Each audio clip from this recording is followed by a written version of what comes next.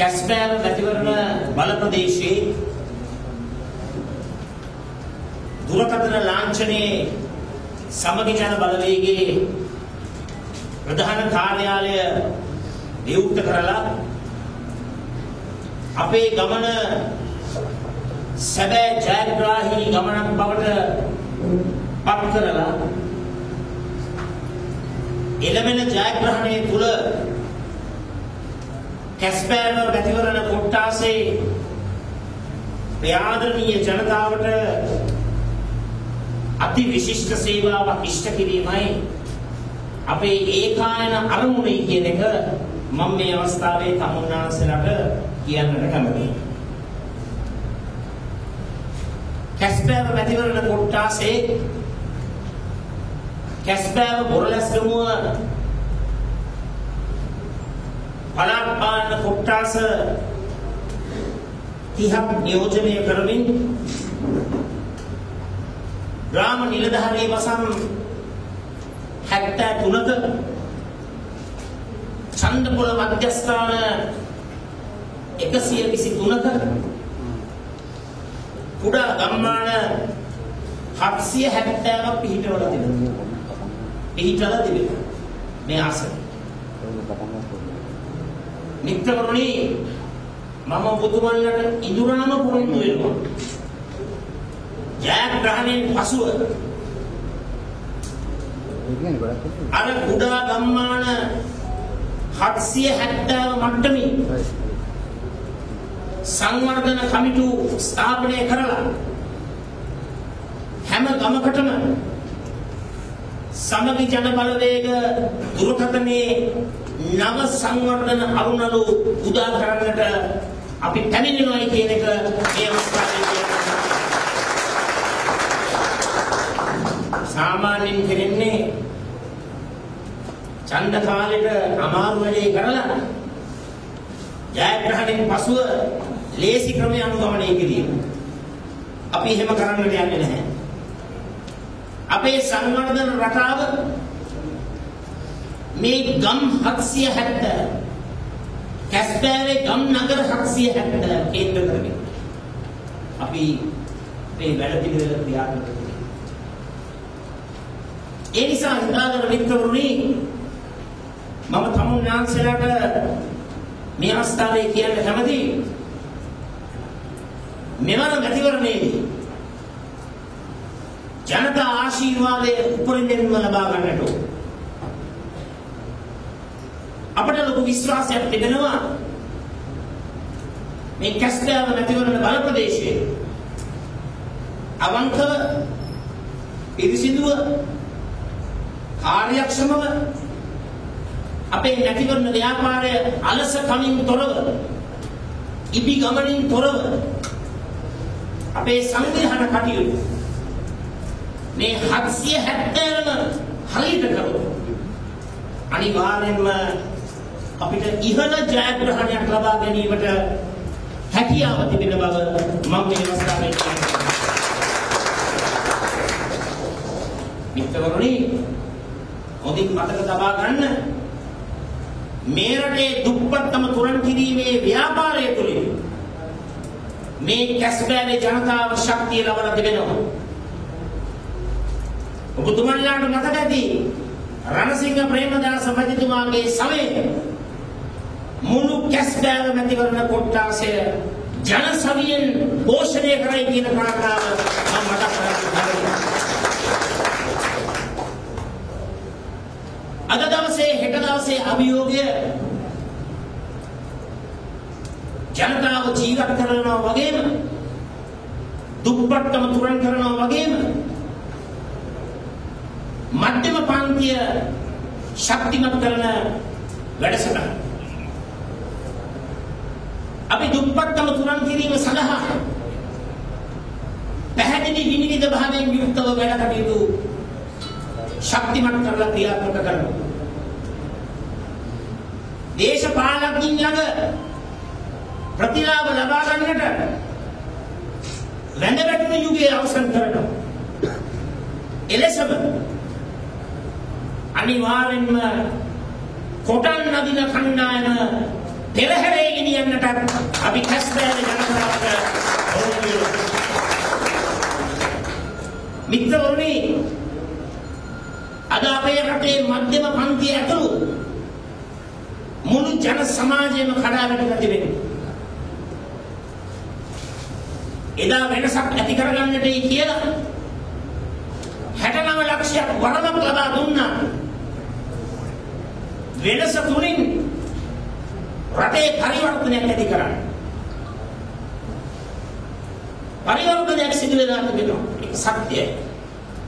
නමුත් පරිවර්තනය සිදු වෙලා තිබෙන්නේ ජනතාවගේ අභිලාෂයන් මුදුන්පත් කරගන්නටවත් ජනතා පැතුම් ඉෂ්ට කරගන්නටවත් නොව පරිවර්තනයක් සිදු වෙලා තිබෙනවා රට අන්ධකාරය කරාගෙන ඇවිල්ලා තිබෙනවා සමගි ජනබලවේගයේ අපි මේ අන්ධකාරය තුල බැබලෙන රිදී රේඛාව. ඒ රිදී රේඛාව ජනතාව ශක්තිමත් වෙන රිදී රේඛාව. පොහොසත් ජනපරපුරක් නිර්මාණය කරන රිදී රේඛාව. ආර්ථික සංවර්ධනයේ අරමුණු සමසේ බෙදා යන රිදී රේඛාව. ආර්ථිකයේ ගොඩනගෙන අලුත් වැඩපිළිවෙලක් හිතවත් මිත්‍රවරුනි එක පැත්තකින් අපි අදහස් කරනවා.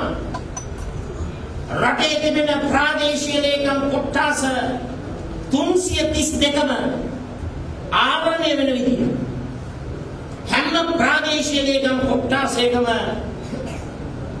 සම්පත් සංවර්ධන කලාපයක් නිර්මාණය කරන්න. මේ සම්පත් සංවර්ධන කලාපය තුලින් ඩිජිටල් තාක්ෂණය රොබොටික් තාක්ෂණය නවෝත්පාදනය නව නිපැයුම්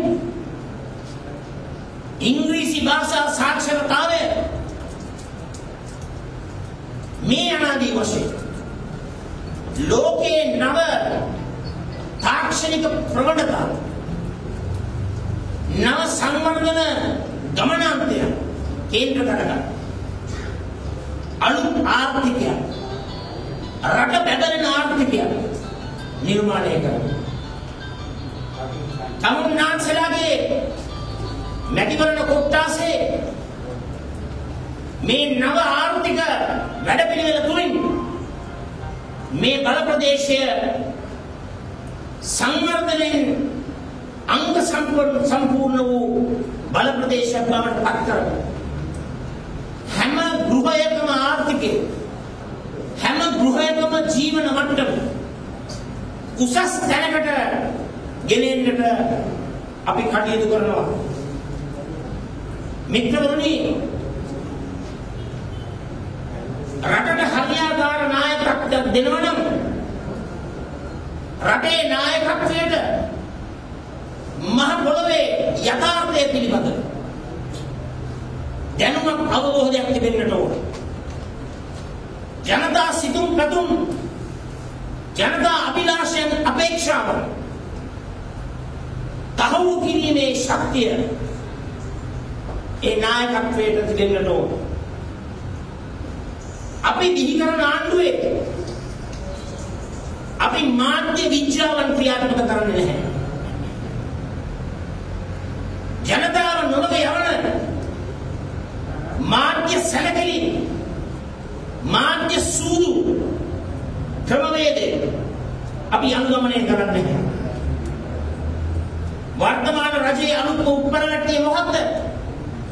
ආර්ථිකයේ කඩා වැටෙනකොට මූල්‍ය කළමනාකරණයේ හරියාකාරව ක්‍රියාත්මක නොවනකොට මාධ්‍ය සංරක්ෂණයක් පවත්වලා ජනතාවගේ අවධානය වෙන පැත්තකට යොමු කිරීමයි. දැන් මෙච්චර රටේ ප්‍රශ්න තියෙනවා. ආර්ථිකය කඩා වැටිලා. ජනතාවගේ මිල මුදල් නැහැ. මුදල් සංසරණය අඩු වෙලා. ජන ජීවිතය කප්පාදු වෙලා. එදිනෙදා වේතුන පිරිනහ ගන්න බොහොම අමාරු වෙනවා. ජනතාවගේ බඩට ජීවනෝපායට විසඳුම් දෙන්නේ නැතුව ලස්සන උප්පර වැට්ටියක් නිර්මාණය කරලා එක පැත්තකින් මාධ්‍ය සංදර්ශන පවත්වනවා. තවත් පැත්තකින් අවධානය වෙන අතරට යොමු කරනවා. දැන් රටේ තියෙන බරපතලම ප්‍රශ්නය රට ඇද වැටී තිබෙන ආර්ථික අගාධය ආර්ථික ප්‍රපාතය නොවේ. ඒකනේ මේ රටේ තියෙන ලොකු ප්‍රශ්නේ. රටේ තියෙන ලොකුම ප්‍රශ්නය 2011 ලෝක කුසලාන ක්‍රිකට් තරගාවලිය පාවා දුන්නයි කියලා බොරුවක් ගොතලා අපේ ක්‍රිකට් ක්‍රීඩකින්ට අපහාස කරලා අවමානයට ලක් කරලා අවධානය ඒ පැත්තට යොමු කරලා තමන්ගේ නොහැකියා තමන්ගේ අදක්ෂකම තමන්ගේ අකාර්යක්ෂමතාවය. තමන්ගේ දුර්වලතාවය ලෝක කුසලානේ පිටිපසහංගන දැන් අද උණු රටන කතා කරන්නේ ඒකද මම දැකන විදිහට අමූලික පට්ටපල් බොරුව මම දැකන විදිහට අපේ ක්‍රිකට් ක්‍රීඩකයින්ට එල්ල කරපු ලොකුම ලොකු අපහාසයක් නමුත් කොහොම හරි තමන්ගේ නොහැකියාව ලෝක කුසලානේ අසහංග කරගත්තා. දැන් ජනතාවට බඩගින්න තේරෙන්නේ නැහැ. ආදාය මාර්ග කඩාවැටුන එකක් අමතකයි. ජීවන මිල ඉහළ යන එකක් අමතකයි. බඩු මිල ඉහළ යන එකක් අමතකයි. දැන් කතාව තමයි 2011 ලෝක කුසලානේ පිළිබඳව මේ ඉල්ල කරන මහා චරිත ඝාතන කුමන්ත්‍රණය. ඒක කුමන්ත්‍රණය. මේක අපේ ක්‍රිකට් ක්‍රීඩකින්ගේ චරිත ඝාතනය. මිත්‍රවරුනි අපේ රටේ ජනතාව මේ බොරුවට රැවටෙන්න හොඳ නැහැ. එදා ජනාධිපතිවරණයේදී වෙන කොහෙවත් නෙවෙයි. මේ කැස්බෑවෙම මේ කැස්බෑව පුරවරේ MCC ගැන කොච්චර කතා කරාද? කොච්චර දේශන තිබ්බද? කොච්චර සම්මන්ත්‍රණ තිබ්බද? කොච්චර අනුශාසනා තිබ්බද? දැන් MCC එක උඩුපට්ටම් කරනවා කියපු මේ අනුව හිමින් සීරුවේ ඇමරිකා එක්සත් ජනපදයේ පණිවිඩයක් යවනවා අනේ තව පොඩ්ඩක් කල් දෙන්න මේක ගැන සලකලා බලන්න අපි හොඳ උත්තරයක් දෙන්න. ලැජ්ජ නැතුව ඇමරිකා එක්සත් ජනපදයේ ඉදිරියේ මේ රටේ ධන ගහලා තියෙනවා. හැබැයි මේ රටේ බොහොම දක්ෂයි. ඒ මොකද මාධ්‍ය හරහා එක්කෙනෙක් එකක් කියනවා තව කෙනෙක් තව එකක් කරනවා. දැන් බලන්න අර ලිප්ටන් වටරවුනේ අර එල්ල කරපු ම්ලේච්ඡ ප්‍රහාරය. ඒ ම්ලේච්ඡ ප්‍රහාරය මුළු රටම දැක්කා. කාන්තාවන්ට දක්වපු සැලකිල්ල මුළු රටම දැක්කා. එහෙව් ම්ලේච්ඡත්වයක් ක්‍රියාත්මක කරලා රජයටම සම්බන්ධ අර පොඩි පැට්ටෙක් දාලා කියනවා මේක මහා බරපතල ඛේද වාචකයක් හරිම වැරදි වැඩක් සිදු වෙලා තියෙනවා. වහාම පරීක්ෂණයක් ක්‍රියාත්මක කරලා සාධාරණත්වය ඉෂ්ට කරන්න. කවුද මේ කියන්නේ? කවුද මේ කියන්නේ? මේ ආණ්ඩුවේම ප්‍රධාන පුරුතක්. එතකොට එක පැත්තකින් ගහනවා. තවත් පැත්තකින් මේක වැරදි කියනවා. ඕවට තමයි කියන්නේ පොලිටිකල් ගේම් කියලා. හොඳට ගේම් ගහනවා. හොඳට රවට්ටනවා. ජනතාව නොමග යනවා. වෙන මොන කතාවද මිත්‍රවරුනි? මම දන්නවා මේව කවදාවත් කවුරුත් මේවා කීයටවත් රෝගී නම් දාන්නේ නැහැ. අර ජනාධිපතිවරණයට පැය කීපයකට පෙර කැලණියක දෙදා වෙලා මතුණානේ මහා නාගරාජ්‍ය සර්වඥ දහතුන් සමග දැන් අපෙන් අහනවා පිටරට ඉක්මනින් සදහවත් බෞද්ධය කතා කරලා අර සර්වඥ ධාතුන් වහන්සේලා වන්දනාමාන කරන්නට අවස්ථාව තියෙනවද?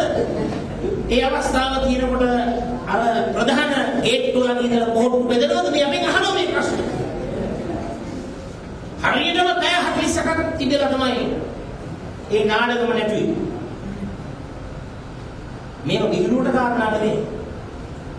මේවට තමයි කියන්නේ දේශපාලන උපරට්ටි කියලා. දැන් මේ අවස්ථාවේ ඡන්දේ තියෙන පස්වෙනිදා. තුන්වෙනිදා කොහෙද කොහෙ දවසක දැන් සාකච්ඡාවක් යනවා. තුන්වෙනිදාට කනුගඟ දෙට යවේද කිංගඟ දෙට යවේද නිම්නගඟ දෙට යවේද මැදිගඟ දෙට යවේද මහවැලිගඟ දෙට යවේද මොනවද අපි මතු කරන්නේ?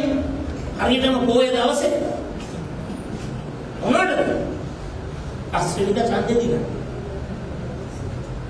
මේකනේ ශ්‍රී ලංකාව අපේ රටේ තියෙනවා 92කට වැඩි සාක්ෂරතාවය 192කට වැඩි සාක්ෂරතාවයක් තියෙන රට මේ වගේ බොරු වංචා පිළිගන්නවා ඉතින් මිත්‍රවරුනි ඔබ අපසිරු දෙනාට දැනගත් කාලේ බහරයක් තිබෙනවා ඒ දැනගත් කාලේ බහරේ තමයි ජනතාවගේ බලාපොරොත්තු ඉෂ්ට කරගෙන විශ්වාසනීය දේශපාලන ගමන සමගි ජන බලවේගය කරගන්න ඕන. අපි ළඟ හොරකම මරකම දූෂණය වංචාව හිංසනය පීඩනය අසහනය අපි සතුව නැහැ. අපි සතුව තිබෙන්නේ රට කොට දැමීමට රටේ ජනතාවට ශක්තිය ලබා දීම. අපිට ඒ හයිය තියෙනවා ඒ දැනුම තියෙනවා ඒ සැලැස්ම තියෙනවා වෙන කොහෙවත් බලන්නට අවශ්‍ය නැහැ. පාර්ලිමේන්තුවේ 225ක් ඉන්නවා. 225යි. අපි විතරයි. එක්කෙනෙක් කොරෝනා ගැන අනාවැකි කිව්වේ ජනවාරි 24 වෙනිදා පෙබරවාරි 5 සමගි ජන බලවේගයෙන් අපි ඒක කිව්වේ. එක්කෙනෙක් කිව්වේ. හැබැයි ඒක කියනකොට උසුළු විසුළු කරා. හිනහ වුණා. චීනය තරහ කරගන්න එපයි කිව්වා. මුවාවරණ අවශ්‍ය නැහැ කිව්වා. දැන් මුවාවරණ නැතුව ගියොත් පොලිසියෙන් අල්ලනවා. කොහොමද වෙනස? කොහොමද සත්‍ය? ඒ නිසා මිත්‍රවරුනි විශේෂයෙන්ම කස්දාර ගුරුවරේ මේ මැතිවරණ කොට්ටාසේ මේ ගම්මාන 770ට අපේ සාගර සේනාරත්න මැතිතුමාගේ නායකත්වයෙන් ගම්මාන 770ටම යන්නට ඕන. මේ උඩින් පල්ලෙන් පෝලින් බූත් මට්ටමින් ග්‍රාම සේවා පසම් මට්ටමින් කියලා අත හොද ගන්නට එපා. මේ දැන් ඉඳලම කාලසටහන හදලා හැම ගමකටම යන්නට ඕන. හැම ගමක්ම දැම්මත් කරන්නට ඕන. අපි මේ ඉදිරිපත් කරන්නේ දූරදර්ශී අනාගත දැක්පත් තිබෙන වැඩසටහන. ඒ නිසා මම ප්‍රාර්ථනා කරනවා මෙදාපාර සංවිධාන බල වේගයට ශක්තිය ලබා දෙන්නට මුළු කැස්බෑව එක මිටට රොද බැඳේ කියන ඒ පරම විශ්වාසය මා සතුව තිබෙනවා. ඒ වගේම මම ඔබතුමාලට කියන්න කැමතියි. පස්වෙනිදා ඔබතුමාලගේ හයිය තුලින් ගැම්ම තුලින් දුරකථනයේ දිනනවා දිනනවා ඒකාන්ත. දුරකථනයේ ජයග්‍රහණය කරනකොට සංවිධාන බලවේගයේ ජයග්‍රහණය කරනකොට මේ රටේ ජන සමාජයේ පහළම තලයේ සිට ඉහළ තලයේ දක්වා දුප්පත් ජනතාව නාගරික දුප්පත් ජනතාව ග්‍රාමීය දුප්පත් ජනතාව සුළු මධ්‍යම පන්තිය මධ්‍යම පන්තිය උසස් මධ්‍යම පන්තිය ඉහළ පන්තිය. මේ හැම ජන කොට්ටාසයක්ම ආවරණය කරන ඒකාබද්ධ ජාතික සංවර්ධන වැඩසටහනක් තුළින් අපි අනිවාර්යෙන්ම මේ කඩා වැටිලා තිබෙන අපේ රට ගොඩ ගන්නවා ගොඩ ගන්නවාමයි කියලා මේ ඒ වගේම අනෙකුත් දේශපාලන පක්ෂ අපේ සංධානයක් අතර ලොකු වෙනසක් තිබෙනවා. ඒ වෙනස තමයි අපි රාජ්‍ය බලය ඇතුවත් හෝ නැතුවත් ජනතාවට සේවය කරන්න අලුත් කටපිළිවෙලක් සකස් කරනවා. අපි දැනට කැස්බෑව සංවර්ධන පදනම ආරම්භ කරලා තිබෙනවා. ඒ සංවර්ධන පදනමේ නායකත්වය අපි ලබා දෙනවා. අපේ සාගර සේනාරත්න සංවිධායකතුමා. එතුමත් සමග අත්ත බෙදගෙන අපි කැස්බෑව පුරවරය සංවර්ධනයේ සුරපුරයක් බවට පත් කරනවා. රාජ්‍ය බලය ඇතුව මහා පරිමාණයේ ව්‍යාපෘති කරනවා. රාජ්‍ය බලය නැති කියලා අපි පැත්තකට වෙලා වපුරු වෙලා නිදා ගන්න දෙයක් නැහැ. අපිට පුළුවන් පරිමාණයෙන් කැස්බෑ පුරවරේ ගම්මාන 770 මේ පුරවරේ ඡන්දපොළ කේන්ද්‍ර කරගත් ඡන්දපොළ 122ක් කේන්ද්‍ර කරගත් පළාත් පාලන කොට්ටාස 30ක් කේන්ද්‍ර කරගත් ග්‍රාම සේවා වසම් 73 ගම්මාන 770 දියුණු කරන්නට සමගි ජන බලවේගයත් සමග සියලු දෙනාම රොද බැඳිලා එකතු වෙන්නේ කියලා මේ අවස්ථාවේ ප්‍රකාශ කරමි. අද අපේ සංවිධායකතුමාගේ වචනයක් කියන්න ඕන. සාගර සේනාරත්න මැතිතුමා අපි වෙනුවෙන් හැම විටම හිතයිශීව කටයුතු කරලා තිබෙනවා. පෞද්ගලික ජනාධිපතිවරණයේදී රට පුරාවටම අතිවිශිෂ්ට සේවාවක් ඉෂ්ට එතුමා බොහොම මිත්‍රශීලී හිතයිශී පුද්ගලෙක්. අපිත් සමග බොහෝ කිප්පෙන් වැඩ කටයුතු කරනවා. ඒ නිසා තමුන්නාන්සලා සාගර සේනාරත්න මැතිතුමාව අනිවාර්යෙන්ම ජයග්‍රහණය කරවන්නයි කියලා. මම ඇස්ටර්ගේ සංවිධානය ඒ වගේම අපි මතක් කරන්න ඕන අපේ නිරෝෂන් පාදුක්ක මැතිතුමා කැස්බෑ වාසනයේ හිටපු සංවිධායකතුමා මේ අවස්ථාවේ මොරටුව මැතිවරණ කොට්ටාසේ ප්‍රධාන සංවිධායකතුමා. නිරෝෂන් පාදුක්ක මැතිතුමාට මම අඳුරන්නේ වසර ගණනාවකට පෙර සිට එතුමා පෞද්ගලික බැංකුවක විධායක ශ්‍රේණියේ නිලධාරියෙක් හැටියට කටයුතු කරනකොටයි මගේ මතක හැටියට පළාත් පාලන මැතිවරණ සමයේදී තමයි එතුමා මට හම්බුනේ. එතුමා අභියෝග බාධා දුක්ඛම් පටලු රසක් නැද්ද? කැපිලි කැපිලි රසක් නැද්ද? ආපු දේශපාලන ගමනක් බොහොම කටුක ගමනක්. දැන් කටුක ගමනේ උච්චතලට ඇවිල්ලා තියෙන්නේ එතුමා මොරටුව සංවිධායකවරයා හැටියට. වැඩ බාර අරගෙන මේ සේනක දමයන්ත රජතුමා ප්‍රමුඛ නගර සභාවේ മന്ത്രിතුමන්ලා සමග ලොකු වැඩ කොටසක් ආරම්භ කරන්න කටයුතු. එතුමාටත් අපේ ආශිර්වාදය මේ අවස්ථාවේ පුද කර සිටිනවා. අනිවාර්යෙන්ම අනිවාර්යෙන්ම එතුමාවට අපි මෙදාපාර සාගර සේනාරත්න මැතිතුමා වගේම අපි මැති සභයට මේ දෙපළම ගෙනියන. ඒ වගේම මගේ කුළුපව් මිත්‍රයා මම හිතන්නේ දේශපාලන ශාස්ත්‍රයේ ඉන්න අහිංසකම පුද්ගලයෙක්. මහත්මා ගුණාංග වලින් ඉහළම පුද්ගලයෙක්. මහත්මා දේශපාලනයේ ප්‍රතිමූර්තිය. අපේ හිතවත් ලෙනාර්ඩ් කර්නාරත්න අවිස්සාවෙල්ල මැතිවරණ කොට්ටාසේ ප්‍රධාන සංවිධායකතුමා. බලයලක් නියෝජිත. ඇත්තටම බොහෝම ලේසි එතුමත් එක්ක වැඩ කටයුතු කරන්න. ඒ මොකද බොහෝම අවංකව අදහස් හෝමාරු කරගෙන නිහතමානී ජනතා සේවාවක් කරන හොඳ මහත්තයෙක් අනිවාර්යයෙන්ම මේ වගේ මහත්තුරු මැති සභයේ ඉන්නටම ඕන.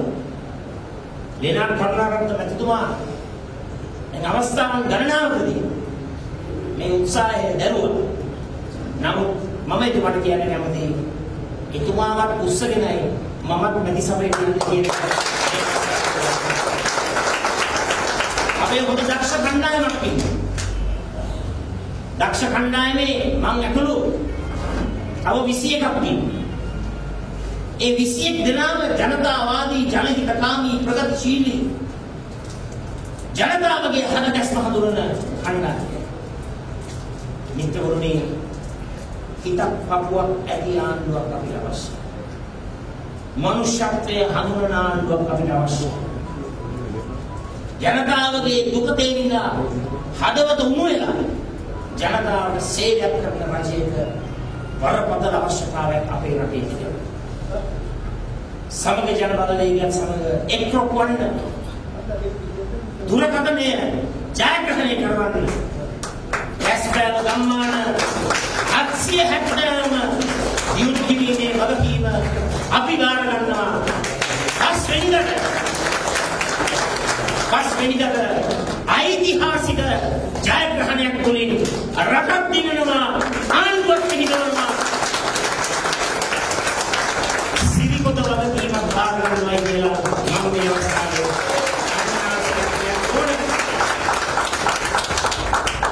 අවසාන වශයෙන් මේකක් කියන්න ඕනේ මම සිරිකොත වගකීම බාර ගන්නවා කියනකොට මේ පොහොට්ටුව කලබල වෙනවා අර පොහොට්ටුවේ දේශපාලන ඇදිත්‍යෝ ටිකක් කුම්පෝ ටිකක් දාලා පොහොට්ටුවේ ඇත්තෝ හරිම විරුද්ධයි මම සිරිකොත බාර ගන්නවා ඒකෙන් තේරෙනවා පොහොට්ටුවේ ඉන්නේ කාත් එක්කද කියන කාරණා සජිත් ප්‍රේමදාස සිරිකොත බාර ගන්නවායි කිව්වහම පොහොට්ටුව වෙවුලනවා. දැනට සිරිකොත බලධාරීන් සමග දේශපාලන හාරු දිදී අනේ මෙහෙමත් දේශපාලන. මිත්‍රවරුනි කැස්පෑවේ ජනතාවට ජය වේවා.